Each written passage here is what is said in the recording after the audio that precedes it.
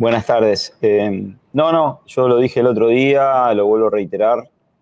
Eh, estoy abierto a cualquier posibilidad y me parece que dos centros delanteros con similares características eh, pueden jugar juntos, en tanto y en cuanto el partido lo, presente o de alguna manera si es, yo creo que sea conveniente. No, no está descartado. De hecho, contra Guatemala nosotros jugamos con dos números 9 de diferentes características y la realidad es que están dentro de las posibilidades que puedan jugar los dos.